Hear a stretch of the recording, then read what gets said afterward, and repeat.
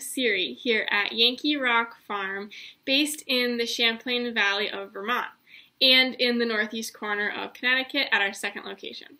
We raise registered Border Leicesters, Border Cheviots, and Finn sheep for registered breeding stock as well as meat and fiber. Along with our farming business, my partner and I shear sheep full time as Yankee Clippers Shearing, serving all of Northeast and uh, across the Midwest. Normally, this time of the year, I would be preparing myself and my flock to travel all around New England, participating in several different shows, fairs, and fiber festivals, including the New York Sheep and Wool Festival. There, I represent the Finn Sheep Breeders Association in the breed display barn. And this year, I was planning on giving a shepherd's talk about all things shearing. Although we can't meet in person, I'm happy to be here still virtually, giving my small presentation and hopefully teaching you a little bit more about what goes into shearing. If you do have any questions about anything I mentioned here, you can find all of our contact information on our website, which is www.yankeerockfarm.com. There you'll get our email and all the links to our social media. Everyone I know involved with the fiber industry, from the farmer all the way to the fiber artist, knows something about shearing. But considering that shearing is the most unglamorous part of the process, taking fiber from the animal to your final creation, I think shearers are most often forgotten along this process. Hopefully, I can break it down for you here a little bit better, whether you're a spinner, a knitter, or anyone who's just interested in how this works. I want you to think about what it's like to be a shearer.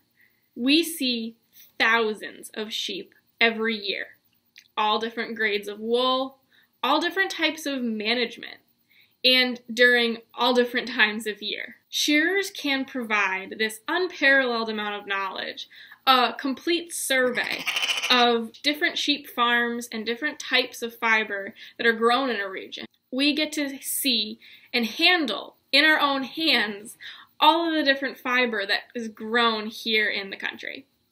Hopefully, here I can translate some of that experience into knowledge for you. The first thing to talk about is equipment. As a shepherd myself, before becoming a shearer, animal handling came pretty easily to me.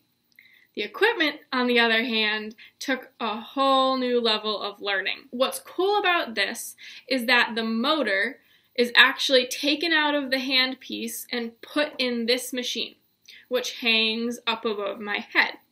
A shaft runs down from that machine to connect to my handpiece and give me all the power that I need, but in a lighter package that also vibrates a little bit less. So you, what goes on are two different blades. We have combs and cutters. Combs are what lay on the sheep's skin and ride across it, and gather up the wool in all of these teeth. The cutter is what's really doing the work. That lays on top of the comb and slides back and forth to cut the wool off, which has been gathered up by the comb. And every fiber requires a different combination of comb and cutter. So, along with being able to handle animals well, shearers have to understand their equipment top to bottom, forwards and backwards, and be able to make adjustments and changes on the fly. Not only is our equipment very unique, but we also have a pretty cool set of attire that we'll wear on a typical shearing day. Now, that's not to say that you mm-hmm. can't shear in a pair of jeans, an old t shirt, and some muck boots. But when you're getting up to numbers of 50 or 100 sheep in a day, this outfit specifically designed for shearing will really make a difference.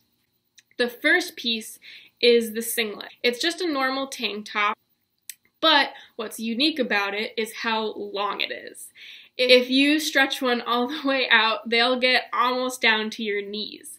This is so that when you tuck your singlet into your pants and then you stay bent over to shear all day long, your shirt's not going to ride up and expose your back. But it actually helps your body regulate its temperature better, which in turn keeps your muscles from cramping up and getting really sore.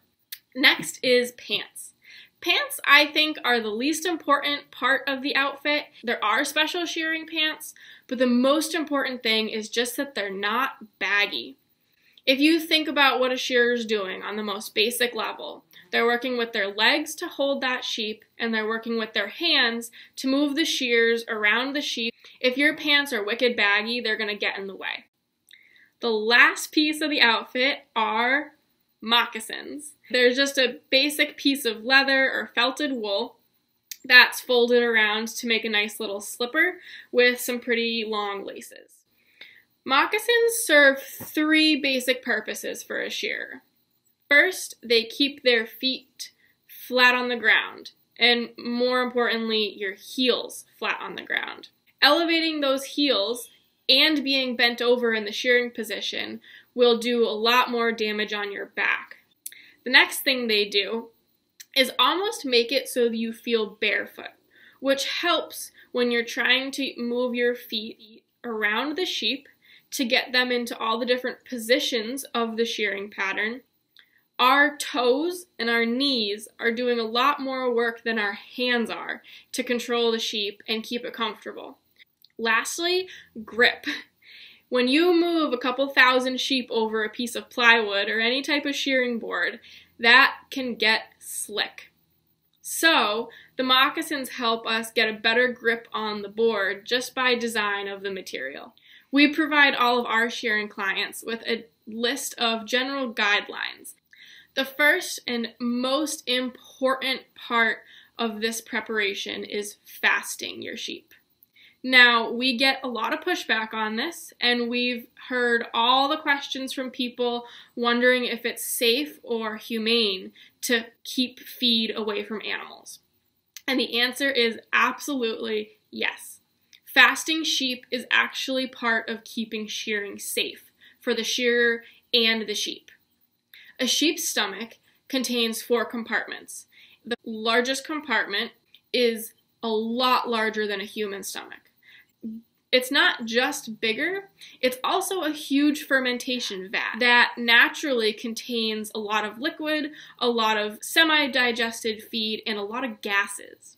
If your sheep has a full rumen and then they go into shearing, it's just not comfortable.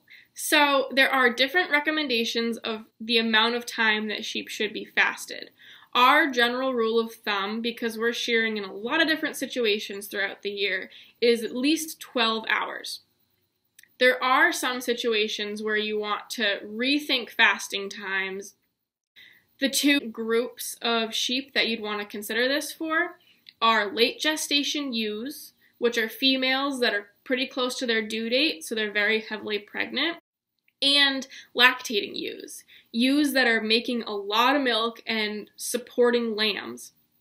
These two groups of sheep in that stage of production are a little more vulnerable to metabolic diseases, so we might suggest a shorter fasting time for them or reconsider time of shearing if we're really concerned. But besides that, mature rams, dry ewes, and a lot of lambs are totally okay to be fasted of all types of feed grain, hay, and fresh grass. There is some research out there about what's safe, and there are some really handy resources about suggested maximum and minimum fasting times. The next most critical piece of preparing for shearing is making sure that the sheep are kept dry. We are working with electrical equipment. It's just not safe for us to be running these machines through wet fleeces. Next, it's really important to have sheep penned up before we get there. It's not that we don't want to help you or that we're not really good at working with these animals, but your sheep will be so much less stressed if they're working with you or any of your farm hands, dogs, or even four wheelers before we show up. Our next suggestion is about the actual shearing surface. We do travel with plywood that we can shear on, but for biosecurity reasons, we suggest that every farmer provides their own piece of plywood. We like to keep all of our equipment clean between farms, and we're happy to do extra sanitization for anyone who's especially concerned about biosecurity, but there's simply no way to sanitize wood surfaces. So, plywood isn't too expensive. If you get a piece for shearing, tuck it away until the next time your shearer comes. It'll last years. Lastly, have yourself a shearing broom and plenty of bags ready to bag up your fleeces. That broom makes cleaning the board in between sheep much easier, and bags that are ready to go help keep shearing day moving quickly and efficiently.